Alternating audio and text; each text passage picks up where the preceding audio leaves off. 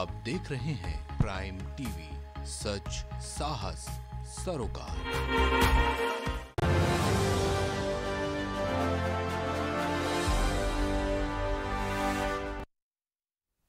नमस्कार, उत्तर प्रदेश की खबरों में आपका स्वागत है। मैं हूँ आपके साथ अनुष्का सिंह और चलिए अब रुक करते हैं उत्तर प्रदेश की तमाम बड़ी खबरों की तरफ़, जहाँ पर आज़ाद समाज पार्टी के राष्ट्रीय अध्यक्ष चंद्रशेखर आज़ाद ने आज लखनऊ में ऐलान करते हुए कहा कि हम आगामी विधानसभा चुनाव छोटे छोटे दलों के साथ मिलकर लड़ने वाले हैं।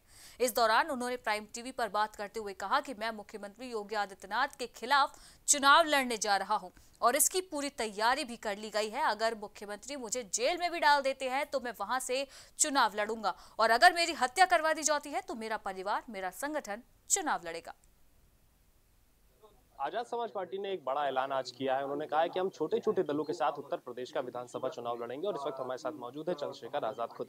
आ, सर आप उत्तर प्रदेश गोरखपुर से चुनाव लड़ने जा रहे हैं उत्तर प्रदेश के मुख्यमंत्री के खिलाफ। मुख्यमंत्री जी कह रहे हैं कि गोरखपुर की जो स्थिति हमने बेहतर कर दी वो कोई नहीं कर सकता था। कानून व्यवस्था एम्स जो दिमागी बुखार से बच्चे वहाँ मरते थे अब उनकी संख्या काफ़ी कम हो गई है धीरे धीरे और कम हो जाएगी। तो क्या मुद्दे हैं? किन मुद्दों पर जा रहे हैं? देखिए, मैं ये समझता हूँ कि उत्तर प्रदेश में आज जो बर्बादी हुई, उसके लिए अगर कोई व्यक्ति जिम्मेदार है तो वो योगी आदित्यनाथ। क्योंकि सत्ता की चाबी उनके पास थी, वो चाहते तो परिवर्तन कर सकते थे, वो चाहते तो कोरोना काल में लोगों को ऑक्सीजन प्रोवाइड करवा सकते थे। वो चाहते तो बेड की, वेंटिलेटर की व्यवस्था कर सकते थे, लेकिन उस समय, जिस समय यहाँ कोरोना से लोग परेशान थे तो बिहार में जाके प्रचार कर रहे थे। मेरे हिसाब से तो उस समय ही उनको ये पद जो है त्याग देना चाहिए था।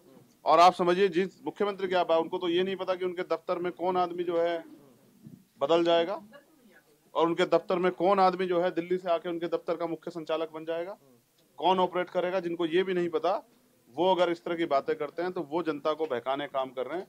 जिनको पूरी फौज जो है उत्तर प्रदेश में उतारनी पड़े तो इसका मतलब उन्होंने काम नहीं किया जो राशन दे के बहुजन समाज के लोगों का शासन करने का अधिकार छीनना चाहते हो जनता जो है जो उनके राशन से लोगों के जमीर को खरीदना चाहते हैं उनके वोट खरीदना चाहते जनता उनसे उनके खिलाफ और जनता उनको उनके खिलाफ वोट करके उनको हराने काम करे अभी आप बोल रहे थे कि अखिलेश यादव आपके बड़े भाई जैसे हैं। अखिलेश यादव के बारे में नहीं पूछूँगा लेकिन आपने ये भी कहा कि बसपा सुप्रीमो का भी आप सम्मान बहुत करते हैं। तो अगर वो मुख्यमंत्री वाला कुछ चेहरा बनती है या फिर कुछ ऐसा होता है कि आपके सपोर्ट से बन सकती है तो क्या आप सपोर्ट करेंगे? मैंने कहा कि ये तो अब जनता तय करेगी कि ज़रूरत किसको पड़ती। लेकिन हमें विश्वास है अपनी मेहनत के ज़रिए कि आज़ाद समाज पार्टी का उत्तर प्रदेश में मुख्यमंत्री बनेगा हम मेहनत हम हम हम हम ये माने कि आप हो सकते हैं। ये हमारा गठबंधन तय करेगा लेकिन हम विश्वास के साथ कहते हैं कि हमने काम किया पाँच साल में और हमारी मेहनत से जब हम अपने मुद्दों को मैनिफेस्टो को लेकर डोर टू डोर कंपेनिंग करेंगे हमारे कार्यकर्ता क्योंकि अगर आज किसी के पास सबसे बड़ा संगठन है उत्तर प्रदेश में तो वो आज़ाद समाज पार्टी भीमार्मी के पास है तो जनता का समर्थन हमें मिलेगा। अच्छा एक आखिरी सवाल मेरा ये है क्योंकि कांग्रेस ने एक मैनिफेस्टो जारी किया है और उसके अलावा ये BJP door to door campaigning कर रही है। डिजिटली मामला आजकल चल रहा है क्योंकि चुनाव आयोग ने भी कहा कि फ़िज़िकल बहुत ज़्यादा नहीं होगा सब कुछ डिजिटल करिए। आप लोग तो डिजिटल भी इतना स्ट्रॉन्ग अभी नहीं है तो कैसे इस लड़ाई को लड़ेंगे किसने कह दिया स्ट्रॉन्ग नहीं है? आप ये कह रहे हैं कि अगर आपका कैमरा मेरे पास नहीं है आपका माइक मेरे पास तो डिजिटल हम लोग स्ट्रॉन्ग नहीं है। आप पता कराइए जितनी ताकत जितनी ताकत बीजेपी के पास है। हाँ उनके पास पैसे हैं, जो इसी जनता की जेब से चुराए लूटे हड़पे धोखा दे दे के जनता को जो भ्रष्टाचार कर करके अपनी जेबें भरी जब जाँच होगी ना, सब निकल जाएगा। और जनता चाहती है कि नेताओं की जाँच हो। मेरी भी हो और उन सब लोग हो जिन्होंने जनता से बड़े बड़े वादे किए और वो बड़े हो गए, जनता वहीं की वहीं रही। हमारी डिजिटल ताकत इतनी है कि अभी तीन दिन पहले ट्विटर पे मुख्यमंत्री जी के लोग ट्रेंड करा रहे थे और हमसे चार गुना ट्वीट पे पीछे थे। अभी तो शुरू हुआ है आंदोलन आप देखते जाइए। ना हम पे सर कम है ना हम पे लोग कम है ना हमारे जो है संकल्प कमज़ोर है उत्तर प्रदेश में परिवर्तन होगा और उसके लिए हम लोग तैयार हैं। अब आप आगे आगे देखिए होता है क्या। मुख्यमंत्री जी ने गिरफ्तारी करवा दी चुनाव से पहले। तो जेल से चुनाव लड़ेंगे? एक क्रांतिकारी के लिए तो हथकड़ी और जेल जो है उसका घर होती है। तो मुख्यमंत्री करा दे गिरफ्तारी तो जेल से लड़ेंगे चुनाव। मैं अपनी बात से पीछे नहीं हटूँगा। मुख्यमंत्री जो करना है करें वो मेरी हत्या भी करा देंगे। तो मेरा परिवार इस काम को आगे बढ़ाएगा, लेकिन हम उनसे डरेंगे नहीं। है धन्यवाद उनसे बात करने के लिए। तो ये थे चंद्रशेखर आज़ाद, जिनका साफ़ तौर पर कहना है कि मैं हर हाल में चुनाव लड़ूँगा। अगर मुख्यमंत्री मुझे जेल भी भिजवाते हैं तो मैं जेल से भी चुनाव लड़ूँगा, क्योंकि उत्तर प्रदेश में जो स्थितियाँ बेहाल हुई हैं, बदहाल हुई हैं, वो यूपी गवर्नमेंट की वजह से हुई है, मुख्यमंत्री की वजह से ही हुई है। और मैं इन स्थितियों को बेहतर करने के लिए लड़ाई लड़ रहा था, लड़ता रहूँगा। लखनऊ से कैमरा पर्सन दीपक के साथ, में नितिन, प्राइम टीवी। अगली खबर रायबरेली से है जहाँ भाजपा के राज्यसभा सांसद अशोक वाजपेयी ने सपा की पुरानी पेंशन और 300 यूनिट फ्री बिजली दिए जाने को स्वप्न दिखाने जाने का बात कहा है। बीजेपी वाजपेयी ने कहा कि सपा सरकार आ रही आ, ही नहीं रही तो ऐसे वायदों का क्या मतलब है? आज सपा ऐसे वादे कर रही है जब उनकी सरकार थी तब वह क्या कर रहे थे? भाजपा से सपा में शामिल हुए लोगों पर भी उन्होंने तंज कसते हुए कहा कि वह यहाँ लूट खसोट नहीं कर सके इसलिए छोड़कर चले गए। अपने लोगों से मिलने जुलने का था, अपने लोगों से मिलकर वार्ता करके 2022 का चुनाव होने जा रहा है तो उस संबंध में पार्टी के लोगों से सबके साथ बातचीत और लोगों से मिलना जुलना, कुछ व्यक्तिगत भी लोगों के यहाँ जाना था वो संपर्क के लिए। वो समाजवादी पार्टी की नीतियों से ऊब करके पार्टी छोड़ करके भाग रहे हैं, वो जानते हैं कि समाजवादी पार्टी का कोई भविष्य नहीं और उसने अपना बड़ा समय समाजवादी पार्टी में बर्बाद किया, इसलिए वो समाजवादी पार्टी छोड़ करके राष्ट्र की मुख्य धारा में जुड़ने का काम कर रहे हैं। देखिए, यहाँ भारतीय जनता पार्टी की सरकार में आप जानते हैं कि योगी बाबा का, के रहते भ्रष्टाचार की खुली छूट नहीं हो सकती। वो लोग जो इस मंशा से भारतीय जनता पार्टी से जुड़े थे कि सरकार में मंत्री बनेंगे और पिछली सरकारों की तरह उत्तर प्रदेश को लूटने का काम करेंगे, उनको ये अवसर नहीं मिला तो इसलिए कुंठित होकर वहीं बांदा पुलिस अधीक्षक ने आज जनपद में आईटीआई परीक्षा के से सभी परीक्षा केंद्रों का भ्रमण किया है। आपको बताया दें कि टीईटी परीक्षा को लेकर आज परीक्षा केंद्रों में भ्रमण किया गया है। पुलिस अधीक्षक अभिनंदन ने कहा कि आज बांदा में 18 केंद्रों पर परीक्षाएँ आयोजित हुई थी, जिसमें दोनों पालियों को मिलाकर कुल 18 केंद्रों पर सत्रह हज़ार परीक्षार्थियों ने भाग लिया था। यहाँ पर 18 केंद्रों पर परीक्षाएँ हो रही हैं। सभी केंद्रों का हम लोगों ने भ्रमण कर लिया है। सभी जगह सुरक्षा व्यवस्था बिल्कुल पुख्ता रखी गई है। सभी की जगह सीसीटीवी कैमरे काम कर रहे हैं, ड्यूटियाँ लगी हुई हैं चेकिंग फ्रिस्किंग प्रॉपर ढंग से हुई है। तो हम ये सुनिश्चित कर रहे हैं कि ये परीक्षा बिल्कुल पारदर्शी ढंग से, बिना किसी गड़बड़ी के अगली खबर फिरोजाबाद से है, जहाँ पर टेट की दूसरी पाली की परीक्षा दो बजे से प्रारंभ हुई, जिसमें दो बजे जब अभ्यर्थी स्कूल के गेट पर पहुँचे तो स्कूल के गेट बंद मिले, जिससे नाराज़ अभ्यर्थियों ने गेट पर बैठकर विरोध प्रदर्शन किया। मौके पर पहुँची पुलिस ने अभ्यर्थियों को वहाँ से हटा दिया, जिससे नाराज़ अभ्यर्थी सड़क पर जाम लगा दिए। खबर लखीमपुर खीरी से जहाँ एक बार फिर पुलिस का घिनौना चेहरा सामने आया है, जिसने पुलिस की कार्यशैली पर एक बार फिर से सवालिया निशान खड़े कर दिए हैं। बता दें कि लखीमपुर खीरी में पुलिस ने चोरी के आरोप में नाबालिग युवक की पिटाई से चार दिन के बाद युवक की संदिग्ध परिस्थितियों में मौत का मामला सामने आया है। वहीं परिजनों ने पुलिस पर आरोप लगाकर सड़क पर शव रखकर जमकर हंगामा काटा। वहीं पुलिस अधीक्षक लखीमपुर खीरी संजीव सुमन ने कहा कि मृतक की माँ की तरफ़ से तहरीर मिल गई है, जाँच की जा रही है, सारे पहलुओं पर गहनता से जाँच की जाएगी। मृतक की माता ने एक तहरीर दिया। मृतक की माता और साथ में पाँच, छह अन्य व्यक्ति आए थे थाने पे। उन्होंने एक तहरीर दी, जिसमें उन्होंने चाचा पे आरोप लगाया। चाचा और गाँव के एक अन्य व्यक्ति पे। उन्होंने ये आरोप लगाया कि 20 तारीख की रात्रि 10 बजे के आसपास इन दोनों लोगों ने पुनः इनके बेटे के साथ मारपीट की है। रात 20 तारीख की ही रात साढ़े ग्यारह बजे उस लड़के को हॉस्पिटल में भर्ती किया गया। आज सुबह उसकी मृत्यु हो गई। मृत्यु के पश्चात परिजनों ने ये आरोप लगाया कि पुलिस की मारपीट से इसकी मृत्यु हुई है। चूँकि वादी सर्वोपरि है, हम लोगों ने इस इस सभी पहलुओं पर जाँच करने का मन बनाया है। उनसे पुनः इस मामले में जो उन्होंने पहले तहरीर दी थी चाचा उनके खिलाफ, उसके अलावा भी जो अन्य तहरीर वो देना चाहते हैं, उन्होंने एक लिखित शिकायत पत्र दे दिया हमने उसे ले लिया है, उसे उसी मुकदमे हम जोड़ दे रहे हैं और आगे की विचार कर रहे हैं। आगे जो भी तथ्य होंगे, जाँच में जो भी चीज़ पाई जाएगी, अगर पुलिस वाले दोषी पाए जाते हैं उनके खिलाफ भी सख्त कार्रवाई की जाएगी। मामला ये था कि मेरे चाचा के घर पे चाचा का लड़के का फ़ोन चोरी हो गया था। मेरा भाई जैसे रात को आया था थोड़ी नशे की हालत में था तो बोला उसने कि चाचा को बोला कि भैया दरवाज़ा खुले रखना, मैं सोने आऊँगा। उसके बाद फिर मेरी मौसी के लड़के के घर गया, पेन ड्राइव लेके आया, टीवी देखा, बेचारा फिर नशा होने लगा तो मम्मी ने अपनी साथ वाली खटिया में सुला ले। उसके बाद सुबह उसका चार बजे पता लगा कि फ़ोन नहीं है उसके पास।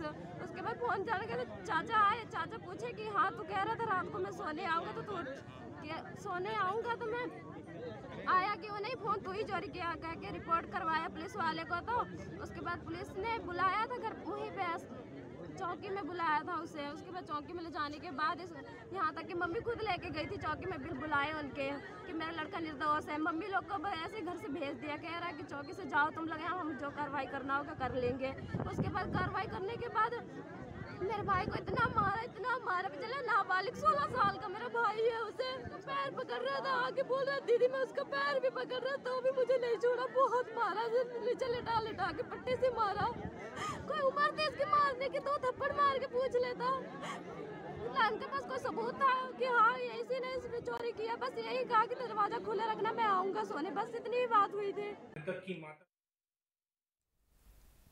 अगली खबर मैनपुरी से है, जहाँ पर परीक्षार्थियों को परीक्षा केंद्र में जाने की अनुमति न मिलने पर जमकर हंगामा काटा गया है। छात्र छात्राओं का आरोप है कि विद्यालय में एंट्री नहीं दी जा रही है। वही समय रहते विद्यालय पहुँच गए थे, लेकिन उसके बाद भी विद्यार्थियों को प्रवेश नहीं दिया गया।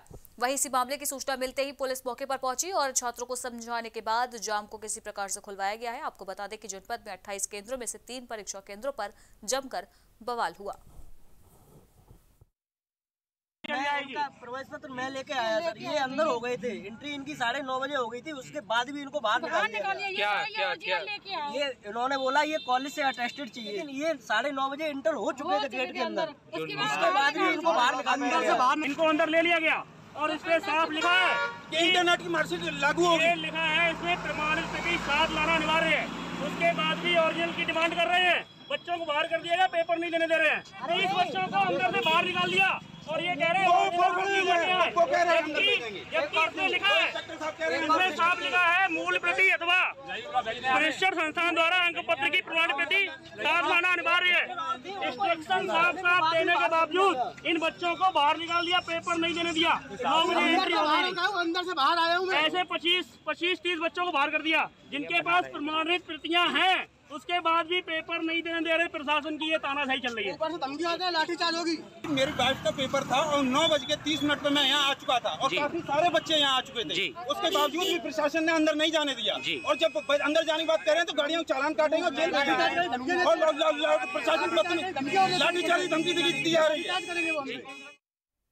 वही रायबरेली में आबकारी आयुक्त के निर्देशानुसार आगामी विधानसभा के दृष्टिगत चलाए जा रहे विशेष प्रवर्तन अभियान में खेतों में अवैध कच्ची शराब बनाने वालों को घरों और आसपास के स्थानों पर दबिश की कार्रवाई की है वहीं दबिश के दौरान लगभग 40 लीटर अवैध कच्ची शराब बरामद की गई। उसके साथ ही लगभग 500 किलोग्राम महुआ लहन भी मौके पर नष्ट किया गया। वहीं फतेहपुर में विधानसभा चुनाव को सकुशल संपन्न कराने के लिए पुलिस अधीक्षक राजेश कुमार सिंह के निर्देशन में एरिया डोमिनेशन कर भारी पुलिस बल व अर्धसैनिक बल के साथ पैदल मार्च किया गया। मौके पर थाना प्रभारी व अन्य अधिकारी मौजूद रहे।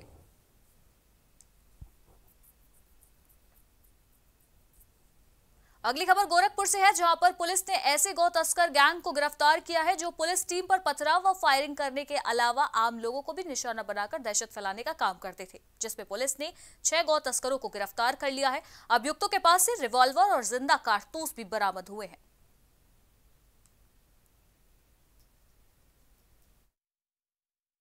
तीन तारीख को एक की गाड़ी पे कुछ तस्करों ने हमला किया था।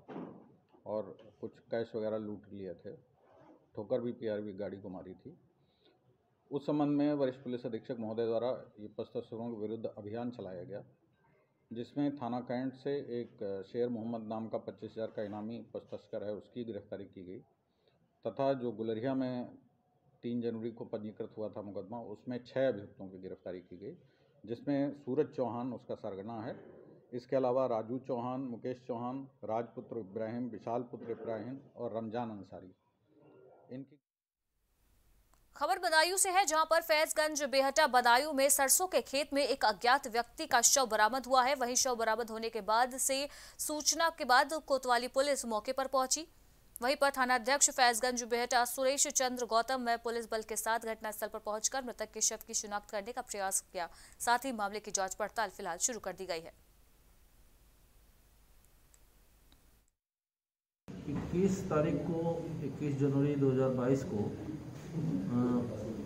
जनपद बदायूं के फैजगंज बेहटा थाना अंतर्गत बझेड़ा में एक सरसों के खेत में एक मनवीर पुत्र शर्फीलाल की डेड बॉडी मिली थी। इस डेड बॉडी के मिलने के बाद पुलिस जब मौके पर पहुँची तो लोगों से वार्ता की गई। मोटरसाइकिल, एक तमंचा और मृतक का मोबाइल बरामद हो चुका है। उन्होंने घटना कबूल कर ली है। इसमें बहुत कम समय में इस हत्या जैसे जघन्य अपराध का खुलासा फैजगंज बेटा पुलिस ने किया है। तो इसको उत्साहवर्धन के लिए मेरी तरफ़ से कैश अवार्ड दस हज़ार रुपये दिए जाएँगे इस पूरी टीम को। और इसमें इन्वेस्टिगेशन चल रहा है। आगे की कार्रवाई रायबरेली में संदिग्ध परिस्थितियों में बाग में युवक का शव मिलने से हड़कंप मच गया। वहीं ग्रामीणों ने पुलिस को मामले की जानकारी दी। सूचना मिलते ही मौके पर पहुँची पुलिस ने शव को कब्जे में लेकर पोस्टमार्टम के लिए भेज दिया है और आगे की जाँच पड़ताल शुरू कर दी गई है। अभी हमें चार बजे के करीब लोगों ने बताया कि हमारे यहाँ बाग में एक लाश पड़ी है। जी। तो महाराज इनसे आए यहाँ पे देखा जी। और देखा जाके उसके बाद फिर हमने इंस्पेक्टर साहब को फ़ोन किया अपना पूरा पुलिस बल के साथ आए ये लोग देखे अगली खबर लखनऊ से है जहाँ पर लगातार भीषण ठंड से लोग पूरी तरह से परेशान हो चुके हैं। ठंड में सबसे बुरा हाल गरीबों का है। गरीबों के सुख दुख साथ रहने वाले और उनकी तकलीफों को समझने वाले बॉलीवुड एक्टर और समाजसेवी शबाब हाशिम ने सर्द भरी रात में गरीबों के बीच पहुंचकर लखनऊ के केजीएमयू सहित शहर के कई इलाकों में जाकर गरीबों को कम्बल वितरित किए। लखनऊ में हो रही भीषण ठंड पर मायरा फाउंडेशन ट्रस्ट के चेयरमैन शबा, शबाब हाशिम ने गरीबों के साथ अपना दर्द जो है बयां करते हुए कहा कि इस भयानक सर्दी में सबसे ज़्यादा परेशानी गरीबों को उठानी पड़ती है। ऐसे में इनकी मदद करना हम सभी का फ़र्ज़ होना चाहिए और समाज के सभी लोगों को इनकी मदद के लिए आगे आना चाहिए। अगली खबर औरैया से है, जहाँ पर बुंदेलखंड एक्सप्रेसवे में चालक के पद पर कार्य कर रहे एक अधेड़ की संदिग्ध परिस्थितियों में मौत हो गई। उसके साथी द्वारा उसे औरैया के संयुक्त चिकित्सालय में भर्ती कराया गया, जहाँ पर डॉक्टरों ने उसे मृत घोषित कर दिया। जैसे ही अधेड़ की मौत की जानकारी उसके साथी चालक को मिली तो वह गाड़ी छोड़कर मौके से फरार हो गया।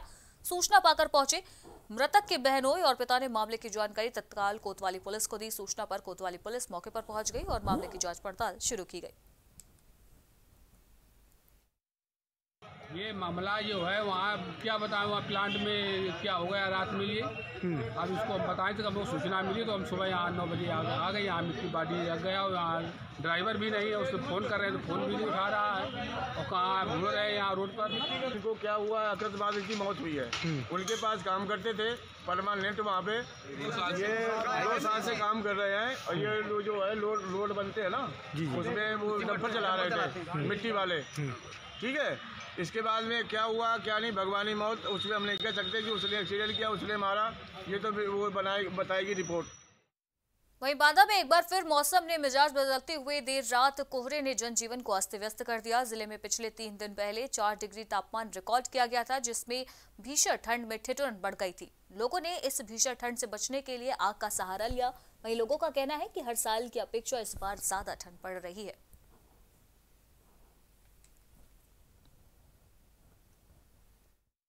तो ठंड तो पड़नी आज की ठंड जो है इस सत्र की सबसे अधिक ठंड है ये। और ये ठंड जो है बिल्कुल जानलेवा है। और इस ठंडी में मैं तो ये सलाह देता हूँ छात्रों से और बाकी के बच्चे बाहर न निकले अच्छा। भीतर ठंडी है। हालाँकि विद्यालय हमारे बंद कर दिए गए हैं। छात्रों के लिए बंद है और आज से हमने अध्यापकों को भी विद्यालय आने के लिए बाध्य नहीं किया है। सुविधा अनुसार आए लेकिन शिक्षकों को छात्रों को ऑनलाइन शिक्षण ज़रूर करें। अगली खबर बस्ती से है, जहाँ पर बारिश के दिनों बहुत से लोगों के घरों में पानी भर जाता है, जिस वजह से उन्हें परेशानी का सामना करना पड़ता है। बस्ती में आवास विकास कॉलोनी में हर साल बारिश की समस्या से सैकड़ों लोग जूझते हैं। लोगों के घरों में बारिश का पानी भर जाता है, जिस वजह से मकानों को बारिश के समय ऊपर शिफ्ट करना पड़ता है, जिसके लिए लोग आवास विकास कॉलोनी के मकान लिफ्टर को बुलाकर मकान को लिफ्ट करवाते हैं।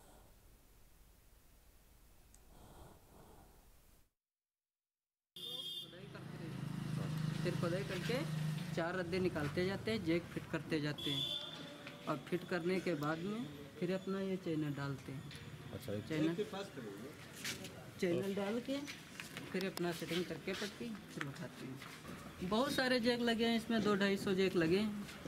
हाँ जैसे जौन हिसाब से मकान होता है इसी हिसाब से एक मकान उठाने में कितना समय लग जाता है? को? करीब करीब जौन हिसाब से मकान होता है उसी हिसाब से मतलब हम समय लेते हैं। जैसे एक हज़ार स्क्वायर फुट का है तो उसमें पंद्रह सौ पच्चीस बीस सौ दिन लग जाते हैं। अच्छा अच्छा। जी। कितने लोगों का आपका टीम वर्क है? कितने लोग ये काम करते हैं? करीब करीब हमारी टीम तो इस समय दस बारह लोगों की चल रही है। बाकी जब ज़रूरत पड़ती है तब फिर हम कहाँ कहाँ तक आप लोग काम किए हैं? बहुत करते हैं। दिल्ली फैजाबाद नोएडा गाजियाबाद ऐसे बिहार झारखंड बहुत जगह जगह सारी जगह करे हैं। जी जैसे हमारा मकान रोलेरी से नीचे हो गया है आपका तो हम लोग जेल से मकान उठाते हैं। पूरा बना बनाया मकान उठा देते हैं। कितने मंजिले तक का मकान आप लोग ऊपर कर सकते हैं? लगा के पाँच मंजिल तक का मकान उठा सकते हैं। जैक कैसे कितना जैक लगता जैसे है? जग उसमें एक लगाते हैं और दीवार पहले काटते हैं फिर एक जग लगाते हैं फिर दीवार काटते हैं फिर एक जग लगाते हैं। एक मकान उठाने में कितना जैक लगता है? कितने वर्कर लगते हैं आपको? इसमें सौ गज के मकान में दो सौ जग लग जाती हैं। उसमें तीस लड़के लग जाते हैं वर्कर कितने समय में सौ गज का मकान आप उठा देते हैं? वो डेढ़ महीने में उठा देते हैं। इसमें किसी तरह का रिस्क भी रहता है। कोई दिक्कत नहीं। है पानी भर जाता था और क्या दिक्कत था? हाइट कम था। इसीलिए सामने हो रहा था काम वही देख के हमने करवा लिया काम अच्छा लगा हमें इसीलिए करवा लिया तो पानी भर जाता था घर में। तो कैसे रहते थे आप कैसे रहते थे ऐसे ही। सिद्धार्थनगर ज़िले में अपराध रुकने का नाम नहीं ले रहे हैं। आए दिन यहाँ पर किसी न किसी रंजिश को लेकर खून खराबे की घटनाएँ सामने आती रहती है। ताज़ा मामला सिद्धार्थनगर ज़िले के लोटन कोतवाली क्षेत्र के कन्हौलिया गाँव का बताया जा रहा है, जहाँ पर दो पक्षों में जमकर लाठी डंडों के साथ चाकूबाजी हुई है, जिसमें चाकू लगने से एक व्यक्ति गंभीर रूप से घायल हो गया, जिसका इलाज जिला अस्पताल में जारी है। आपको बता दें कि घायल इस्तियाक जो है, वो रफीकुल्ला से पैसे के लेन देन को लेकर काफ़ी समय से उनके बीच रंजिश चल रही थी। वहीं आरोपी के ऊपर इस्तियाक का पैसा बकाया था। फ़िलहाल पुलिस मामला दर्ज कर तीन लोगों को हिरासत में ले चुकी है और आगे की कार्रवाई जारी है। मुख्तार नाम का आदमी था, वही उन लोग को प्लान बनाया, चाकू ले जाके दिया और उसके घर में तीन लोग थे, सब मिलके जो है और औरत थी। सब मिलके जो है हमारे ऊपर अटैक कर दिए हम गली से जैसे निकले तैसे पीछे से अटैक कर दिए। सब मारने लगे, धड़ाधड़, दो लोग पकड़ लिए, सुता के मारे, चाकू से गटई काटने जा रहे थे मैं झटका मोड़ के जाके चाकू उन लोग को लग गया सर। थाने में सरतारी दिए चौकी पे सूचना किए चौकी के सिपाही तुरंत पहुँचे, वो दो, तीन लोग को गिरफ़्तार कर लिए, एक लोग फरार है अभी कनौलिया गाँव में मारपीट हुई है आज। जिसमें एक व्यक्ति को चोट लगी है और उसका उपचार कराया जा रहा है जिला अस्पताल में। स्थिति उसकी खतरे से बाहर है और प्रकरण को तत्काल संज्ञान में ले लिया गया है और अभियोग पंजीकृत कर लिया गया है। तीन लोगों को हिरासत में ले लिया।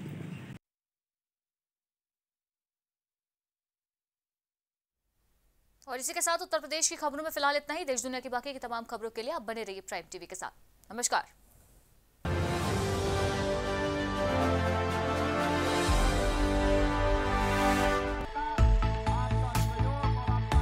कुछ भाव पुष्प। आप देख रहे हैं प्राइम टीवी सच साहस सरोकार।